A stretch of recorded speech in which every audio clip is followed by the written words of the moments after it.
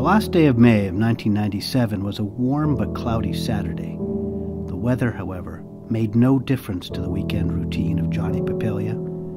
This 73 year old man was a creature of habit. In his younger days, before his black hair thinned and turned the color of slush, his habits included feasts on thick steaks, washed down by scotch by the quart, meetings with high ranking men of Buffalo's La Cosa Nostra, club hopping with notorious New York City mafiosi, and tours of gambling joints where he controlled the action.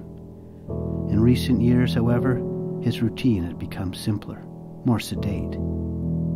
Johnny Papalia was one of North America's longest reigning mafia bosses, and Ontario's preeminent mafia boss during some of the most momentous events in underworld history, from the riches of prohibition to the famed French Connection heroin smuggling ring, and the Americanization of the mafia to its attempts at corporate legitimacy. In the mid 1950s, John Papalia emerged as Canada's representative of Buffalo's La Cosa Nostra family, which was led by thunderous mafia boss Stefano Magaddino. Papalia was called Johnny Pops, Canada's Capone, Godfather, or, to those who didn't much like him or feared him, the Enforcer.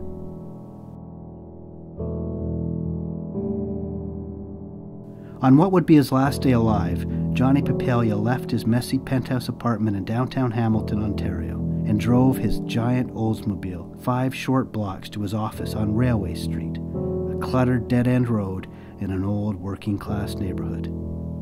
Cops called his locked and alarmed office Fort Knox. It was here that a mafia hitman for a rival family came to visit.